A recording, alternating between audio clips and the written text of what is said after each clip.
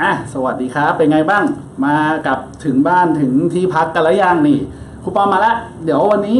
แพทหนึ่งอย่าลืมนะจำอะไรได้คิดอะไรได้เข้ามาคุยกันในเพจ Open d u r i a n หรือว่าในทวิตเตอร์ก็ได้แชร์กัน ข้อสอบใครจำอะไรได้นะ แชร์เข้ามานะครับว่า ข้อนี้ถามอะไรกำหนดอะไรมาบ้าง แล้วก็คำตอบช้อยมีอะไรบ้างเห็นไหมทีนี้มาครูปอมมีมาให้ดูข้อแรกเลย เอามาดูเป็นข้อเปิดเลยข้อนี้เนี่ย เป็นข้อเติมคำตอบนะครับ เป็นเรื่องของอนุกรมอนันต์ซึ่งตอนนี้เท่าที่ดูในในกระแสในโซเชียลเนี่ยจะแยกออกเป็น 2 ทางนะครับ บางคนตอบ 4 บางคนตอบ 4.5 เดี๋ยวมาดูกันว่าตอบอะไรข้อนี้เนี่ยถือว่าเป็นข้อโหดข้อหนึ่งเลยนะครับ นี่จำโจทย์ได้ไหมกำหนดมานะครับว่าซิกมา n ตั้งแต่ 1 ถึง infinity นะครับของ n กำลัง 2 บวก a หารด้วย 3กำลัง n ลบ 1 เท่ากับ 21 ส่วน 2 โจทย์ได้เหมือนจะง่าย แต่ว่าเดี๋ยวลองดูกันว่ายากอะไร โจทย์ถามค่า a นะครับ โจทย์ถามค่า a ลองดูสิ ส่วนใหญ่ทุกคนก็จะเริ่มต้นเหมือนกันหมดเลย ก็คือจัดการแยกซิกมาถูกไหมครับไอตอนแยกเนี่ยไม่ไม่มีปัญหาอยู่แล้ว แยกออกเป็น n เท่ากับ 1 ถึง infinity ของอันนี้นะครับ แล้วก็บวกด้วยตัวนี้อะ a ส่วน 3กำลัง n ลบ 1 นี่ขั้นที่ 1 ซึ่งตอนนี้สังเกตให้ดีนะครับ ตัวเนี้ยไม่ยากเราก็จะมาทำตัวนี้ก่อนเดี๋ยวครูปอมดึงตัวนี้มานะครับ เอาตัวนี้นะ ตัวนี้เนี่ยเราดึง a ออกได้เลยถูกไหมครับ ดึง a ออกกลายเป็น a แล้วก็ sigma n ตั้งแต่ 1 ถึง infinity ของตัวนี้นี่ดึงได้เพราะ a เป็นค่าคงที่ใช่ไหมทีนี้ตัวนี้เป็นไงตัวนี้มันก็คือแบบนี้ครับ ถ้าเราแทนค่า n ลงไปก็จะเป็น 1 ส่วน3กำลัง 0 บวกไปเรื่อยๆเลยปึ๊บ ซึ่งเขาเป็นอนุกรมเรขาคณิตแบบอนันต์เราใช้สูตรได้เลยถูกไหมครับ กลายเป็นอะไรสูตรจำได้ไหม a 1ส่วน1ลบ r นี่สูตรก็คือ a 1ส่วน1ลบ r จำได้ไหมครับ สูตรอนุกรมเรขาคณิตอนันต์นะครับ ตรงนี้นะ s infinity เท่ากับ a 1ส่วน1ลบ r นี่ทำให้เราคิดเลขตรงนี้ออกมาไม่ยากก็จะได้ออกมาเป็น3ส่วน 2 a อะ ครูปอมเชื่อว่าตรงพจน์เนี้ยหลาย ๆ คนก็น่าจะคิดได้เหมือนกันนะครับถูกไหมครับแยกซิกมาออกมานะครับ ดึง a แล้วก็ตรงนี้กระจายออกมาปุ๊บเป็นเลขาคณิตอนันต์ก็ใช้ได้เลยครับ a 1ส่วน1ลบ r ก็ออกมาเป็น 3 ส่วน 2 a ทีนี้ครับ เราจะมาดูตัวเด็ดของเราก็คือตัวหน้านี่ตัวนี้มาดูซิว่าเขาโหดยังไงนะครับ n กำลัง2ส่วน3กำลัง n ลบ1 หน้าตาก็คือดูเป็นข้างบนก็เป็นอนุกรมหนึ่งข้างล่างก็เป็นอนุกรมหนึ่งซึ่งเป็นผสมแน่ๆ แต่ผสมแบบไหนลองดูกัน อันนี้นะครับกระจายออกมาปุ๊บมันก็จะเป็นอะไรมันก็จะเป็น n กำลังสองก็คือหนึ่งถูกไหมครับหนึ่งส่วนสามกำลังศูนย์บวกสองสองสี่บวกสามสามเก้าเนี่ย n กำลังสองถูกไหมหนึ่งกำลังสองสองกำลังสองสามกำลังสองมา นี่ก็เป็นสามกำลังสองบวก สี่สี่สิบหกส่วนสามกำลังสามบวกไปเรื่อยๆ เลยอะมันก็อยู่ในรูปของอนุกรมผสมนั่นเองถูกไหมครับ ข้างบนเป็นปกติที่เราเจอเนี่ยข้างบนจะเป็นเลขคณิต และข้างล่างเป็นเลขาคณิตถูกไหมครับทุกทีที่เจอนะ แต่ข้อนี้นะครับ ด้านล่างเป็นเลขาแต่ด้านบนไม่ใช่เลขคณิต เป็นอนุกรมกำลังสองทำยังไงดี อย่าไปใช้สูตร n กำลังสองนะครับ เพราะว่ายังใช้ไม่ได้นะ วิธีการครับ หลักการคิดเหมือนเดิมครูปอมกำหนดให้ตัวนี้เป็น s นะครับ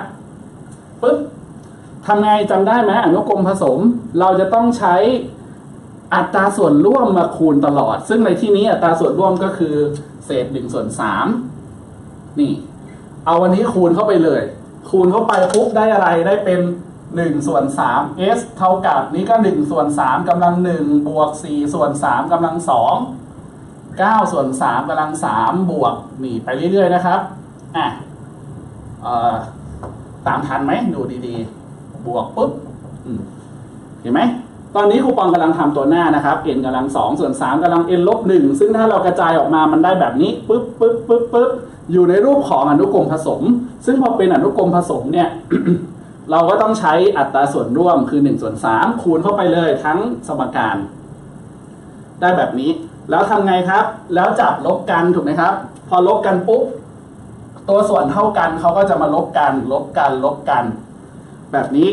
ได้อะไรครับครูปอมเอาบนลบล่างนะครับ ตรงนี้จะออกมาเป็นเศษ2ส่วน3 s ถูกไหม2ส่วน3 s นี่ลบกัน ตรงนี้ครับ1ส่วน3กำลังศูนย์ไม่มีใครลบด้วยนะครับ ไม่มีใครลบด้วยตรงนี้ส่วนเท่ากันถูกไหมส่วนเท่ากันลบเลยสี่ลบหนึ่งก็เหลือสามปึ๊บ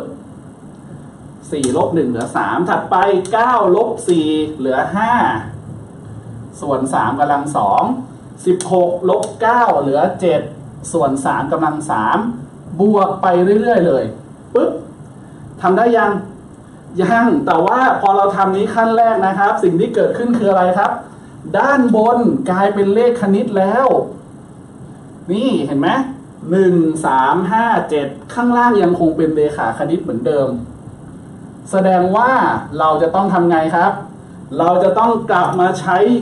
วิธีเดิมอีกครั้งหนึ่งหมายความว่าจะต้องใช้อัตราส่วนร่วมเท่ากับ1ส่วน3เนี่ยคูณตลอดอีกหนึ่งรอบถูกไหมครับ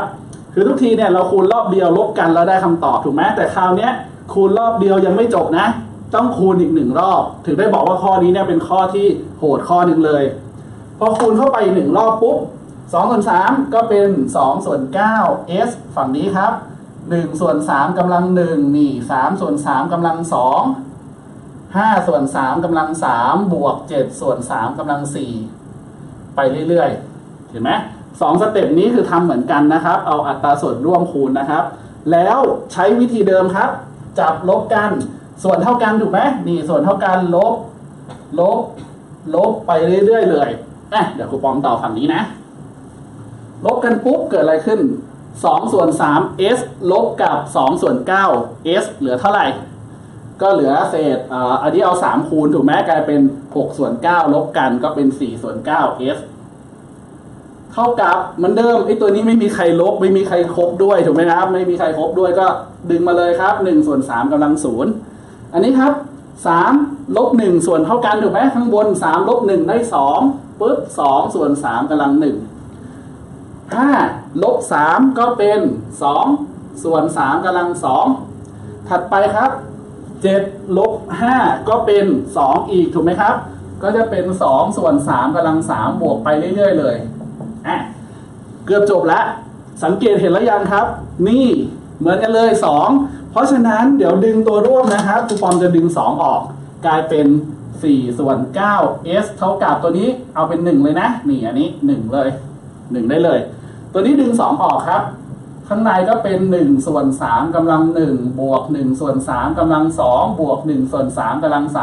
3ไปเรื่อยๆปึ๊บออกยังออกแล้วนี่ไง อันนี้ก็เป็นเลขาคณิตใช้สูตรได้เลยถูกไหมสูตรไหน สูตรเดิมนี้ สูตรเดิมนี้เลยนะครับ กลายเป็น a 1เป็น1ส่วน3ถูกไหม1ลบ r เหมือนเดิมปึ๊บคิดเลขธรรมดาได้1ส่วน2ปึ๊บมา สุดท้ายเราหาค่า s ได้ถูกไหมครับ กลายเป็น 4 ส่วน 9 s เท่ากับ 1 บวก อันนี้เท่ากับนะครับ 2 คูณด้วย 1 ส่วน 2 นี่ ออกแล้วยังปึ๊บตัดได้เลยปึ๊บปึ๊บเป็น 1 นะครับ ก็จะได้ 4 ส่วน 9 s เท่ากับ 2 เพราะฉะนั้น s เฉยๆ ก็เป็น 9 ส่วน2นั่นเองนี่คือ s ปึ๊บอย่าเพิ่งตอบนะ ครูปอมเชื่อว่าหลาย ๆ คนที่ตอบ 4.5 เนี่ย คือได้ s เป็น 9 ส่วน 2 แล้วตอบ 4.5 เลย นี่ยังไม่ใช่คำตอบนะครับ เขาถาม a อ่ามีใครพลาดแล้วยัง 8 คะแนนนะ